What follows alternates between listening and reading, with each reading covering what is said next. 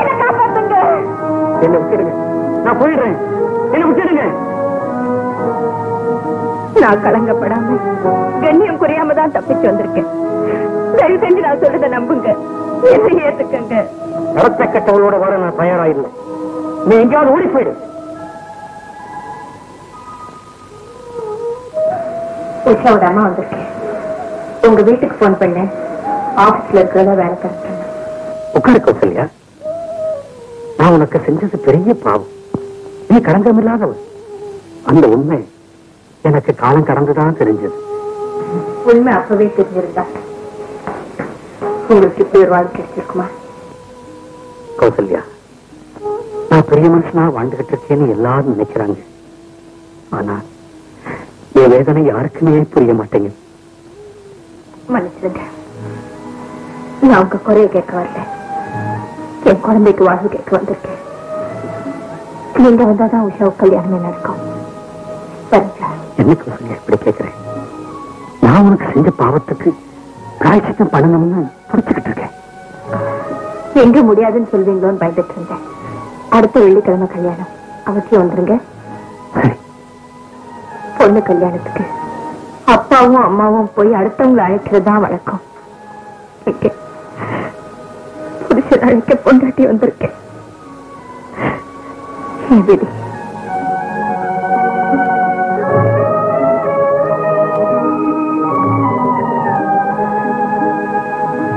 மழை வீங்கிற முறை இருந்தா முந்தானி தரலாம். மகளுக்கு அப்பாங்கிற முறையில என் செஞ்சுதான் தரது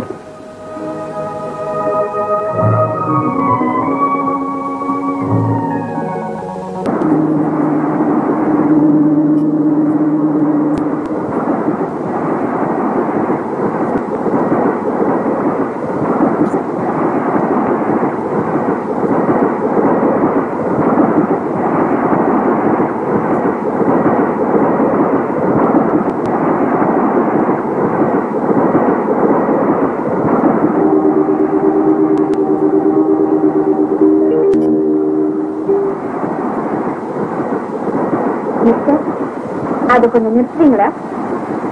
அடுத்தவங்களுக்கு பிடிக்கலங்கிறதுக்காக என் பழக்கத்தை நான் விடுறதில்லை உட்காரு மிஸ் உஷாரா. உஷாபேஷன் கார்டுல உஷாபேஷன் போட்டிருக்கேன் என் முழு பேர் உங்களுக்கு எப்படி தெரியும்? சாதாரண காரியத்தை பண்ணிட்டு சரித்திரத்துல இடம் பிடிக்கணும்னு நினைக்கிற இந்த காலத்துல நீ ஒரு சாதனையே பண்ணி. சாதனையா. பூமியை பார்த்து நடக்கிறதுதான் பொண்ணுங்கிற பத்தாம் வசதி கொள்கையை சுக்குநூறாக்கிட்டு அங்கிட்டு இருக்கிற விமானத்துல இருந்து பேரச்சூட்ல பிடிச்சிருக்க? நீங்க இப்ப சொல்லிட்டு இருக்கிற அந்த பொண்ணு நான் இல்ல. அப்போ இந்த பத்திரிக்கையில வந்திருக்கிற பேச்சியும் போட்டோவா ஒண்ணு இல்லையா? என்னுடைய தான் இல்ல இல்லைன்னு சொன்ன. Oh. இது நானே எடுத்து வைக்கிறேன். பெண்ணுக்கு வீரங்கிறது நம்ம நாட்டை பொறுத்த வரைக்கும் இறந்த காலமா இருக்கு.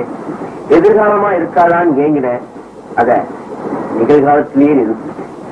இன்னைக்கு உன்னை என் நிலையில வச்சுக்கணுங்கிறதுக்காகத்தான் இதை எடுத்து வச்சு ஐ திங்க் நீங்க நானா?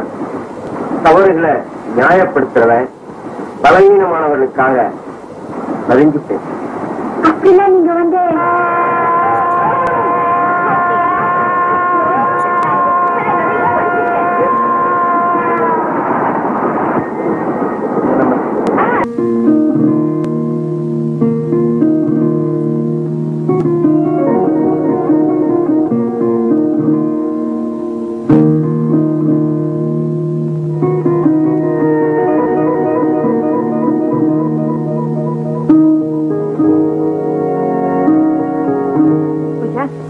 சரி உட்காரு. உட்காந்துட்டு இருக்கேன் காலை மடக்கி உட்காரு.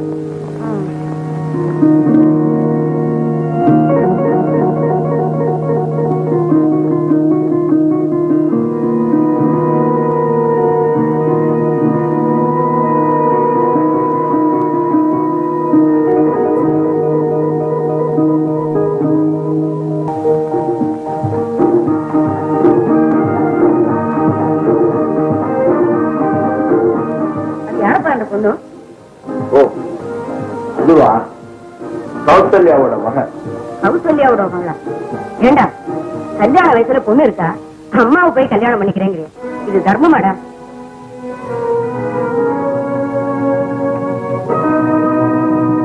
இந்த மாதிரி பொண்ண கல்யாணம் பண்ணிக்க ஆயிரம் பேர் வருவாங்க.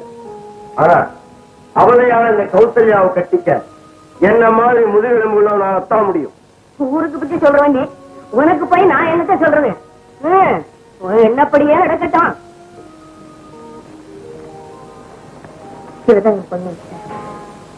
என் மகனுக்கு சம்பிரதாயம் எல்லாம் பிடிக்காது. இருந்தாலும் ஒரு வார்த்தை எனக்காக கேட்டுக்கிறேன். கேளுங்க. ஏமா உங்க அம்மா செஞ்சிருக்கிற ஏற்பாட்டுல உனக்கு சம்மதம் தானே? அவன் சம்மதிச்சு தானே அவரே இந்த வீட்டுக்கு வந்திருக்காரு. அப்புறம் என்ன? ஊருக்கு போய் நான் குறிச்சு அனுப்புறேன். நல்லபடியா நடத்திடுவோம்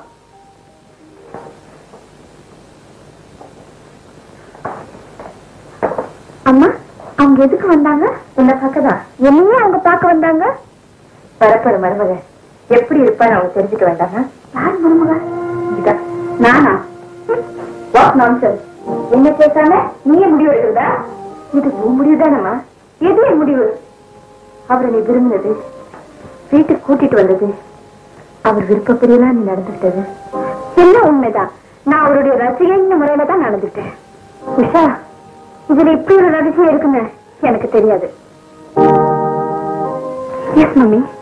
அப்படின்னா அலங்காரம் பண்ணும்போது பேசாம இருந்தே வீட்டுக்கு வந்தவங்க முன்னால நான் அழகா இருக்கணும்னு நீ ஆசைப்பட்டேன்னு நினைச்சேன். சம்மதமா கேட்டப்ப நீ பேசாம இருந்தியே. ஏற்பாடு நான் சொன்னதுக்கு அர்த்தம். இதுதானே எனக்கு தெரியாது. இது ஏன் முடிவாக இருக்கட்டும்? எனக்காக வருகிறதுக்கு முடியாது. பிகாஸ் நான் ஒருத்தரை லவ் பண்றேன். நான் அவரை கல்யாணம் பண்ணிக்கிறேன்னு சத்தியம் பண்ணிருக்கேன் My God.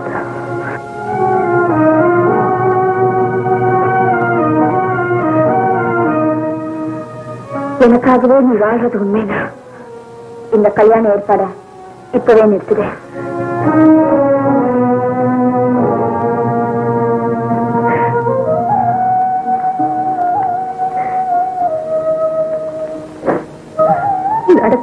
எனக்கு புரிச்சதான பேர் வாங்கினேன். இப்போ நம்பிக்கை துரோகி பொண்ணால பேர் வாங்கப்பட்டேன் அனுபவிக்கணும்னு ஆண்டவன் எழுதின எழுத்து. இந்த அழுது அழிக்க முடியும். சரி நீங்க மன்னிக்கணும்.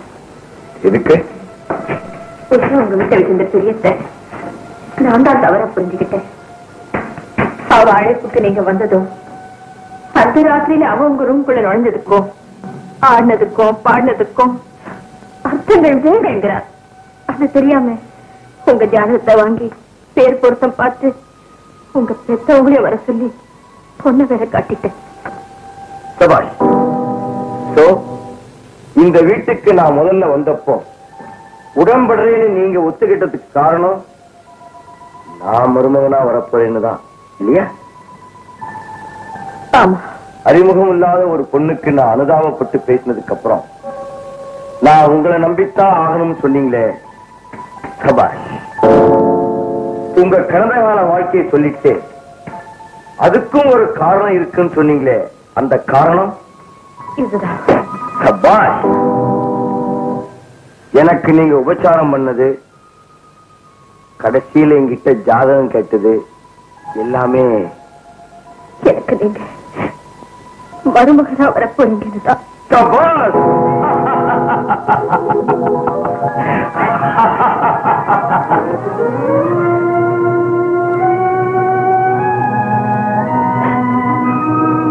கண்ணுக்குள்ள இருக்கிற தேர மாதிரி. இவர் மனசுக்குள்ள இப்படி ஒரு நினைப்பு என் மேல இருக்கிறது தெரியாமலே போயிடுச்சு.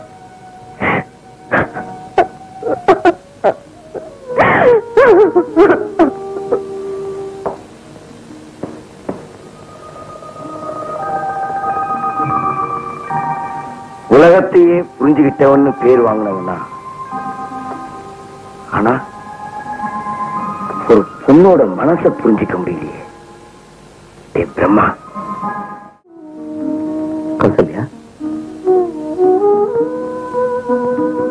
பொண்ணு மாப்பிள்ளையும் புறப்பட்டாங்க. அதனால புருஷன் நான் தானே? சொல்ல வந்திருக்கீங்களா? கௌசல்யா என் மரியாதையை காப்பாத்தணுங்கிறதுக்காக உன் மானத்தோட விளையாடின இந்த மிருகத்தை மன்னிச்சிடுன்னு கேட்க வந்திருக்கேன். தயவு செய்து மிருகத்தை கேவலப்படுத்தாதீங்க. மிருகம் கூட. தன் துணையை இன்னொரு மிருகத்துக்கு விட்டு கொடுத்து வேடிக்கை பார்த்ததா சரித்திரமே கிடையாது. கௌசல்யா. அன்னைக்கு என் கற்பை காப்பாத்த முடியாம நீங்க கோயா இருந்ததுக்கு காரணம் உங்க முன்னால காட்ட கத்தியால தான் நினைச்சேன். இன்னைக்கு அத்தனை பேருக்கு மத்தியிலும் அப்பா யாருன்னு கேட்டப்ப நீங்க அமைதியா நின்னத பாத்திரம் உங்க புத்தி புரிஞ்சு போச்சு. மகளுக்கு அச்சதை போட்டு ஆசீர்வதிக்கிறது பதிலா மனைவிக்கு அச்சதை போட்டு மறு கல்யாணத்துக்கு அங்கீகாரம் பண்ணின நீங்க ஒரு மனுஷனா. என்ன மன்னிச்சிடு. நான் உங்களை மன்னிச்சிடலாம். உலகம் என்ன மன்னிக்காது. மனைவின்னு எப்போ இன்னொருத்தர் பக்கத்துல நின்னனோ அப்பவே என் மானம் போயிடுச்சு. ஆசீர்வாதம் வாங்க வேண்டிய என் பொண்ணு எனக்கே ஆசீர்வாதம் பண்ணிட்டு போனதுக்கு அப்புறம் என் உயிரே போயிடுச்சு சாரி. தகப்ப வராததுனால உஷாவோட கல்யாணம் நின்னு போயிடுமேங்கிற தவிப்புலதான் பொண்ணுக்கு அப்பா நான் தான் ஒரு பொய்ய சொன்னேன். அதனால உங்களுக்கு இப்படி ஒரு தர்ம சங்கடம் ஏற்படும் தெரிஞ்சிருந்தா நான் இந்த பக்கம் வந்திருக்கவே மாட்டேன். இல்லைங்க. நீங்க மட்டும் வராம போயிருந்தீங்கன்னா தான் தப்பே நடந்திருக்கும். நான் கல்யாணம் ஆகியும் வாழா வெட்டியா இருந்த மாதிரி. என் பொண்ணு கல்யாணம் ஆகாமலே வாழா வெட்டியா இருப்பா. வரம் கொடுக்க போற சாமின்னு தெரியாம எங்க வாழ கெடுக்க வந்த பாவின்னு நினைச்சு உங்களை வீட்டை விட்டே வெளியே அனுப்புறேன் அந்த பாவத்துக்காக இந்த பாவிய மன்னிச்சிருங்க. ஆரம்பத்துல உங்களை பார்த்ததும் மிருகமா நினைச்சேன். பழகுனதுக்கு அப்புறம் மனுஷனா மதிச்சேன் இப்ப என் மகளுக்கு வாழ்வு கொடுத்ததுக்கு அப்புறம் உங்களை தெய்வமா கும்பிடுறேங்க. தெய்வமா கும்பிடுறேன்.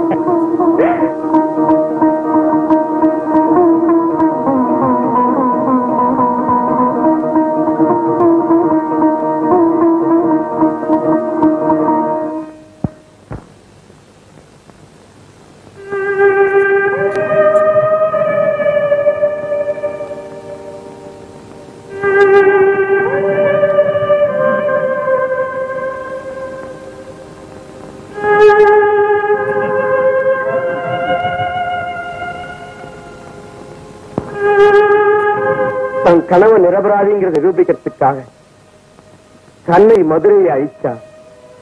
ஆனா நீ உன் கனவு குற்றவாளிங்கிறதுக்காக உன்னையே அழிச்சுக்கிட்ட பத்திரிகை பாரதாரா படித்த போது ஏற்படாத நம்பிக்கை இப்போ உன்னை பார்த்த போது எனக்கு ஏற்பட்டு உன் காலத்தை நான் வாழ்ந்ததுக்காக ரொம்ப பெருமைப்படுறேன் கௌசல்யா. பெருமைப்படுறேன்.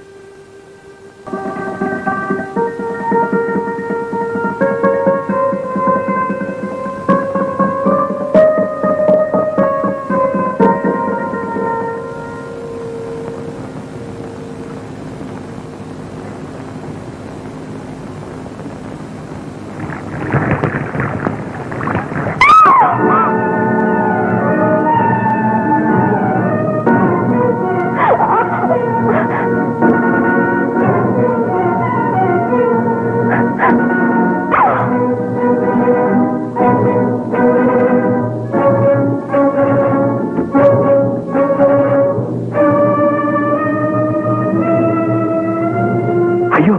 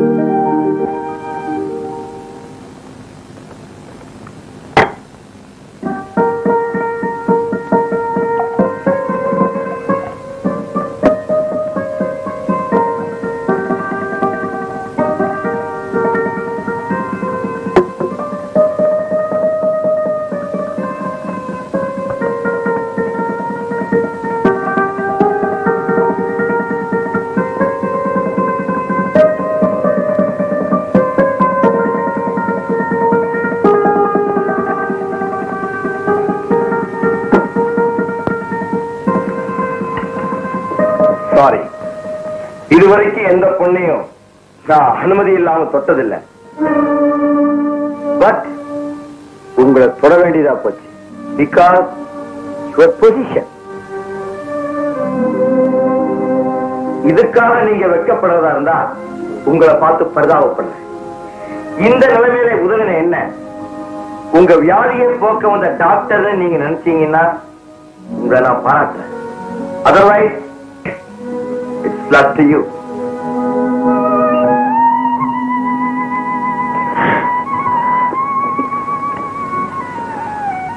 వీరు భద్రంకి వర్షిస్తాను ఇవ్వకే కడుపు ఎక్కువ సూర్యకాలం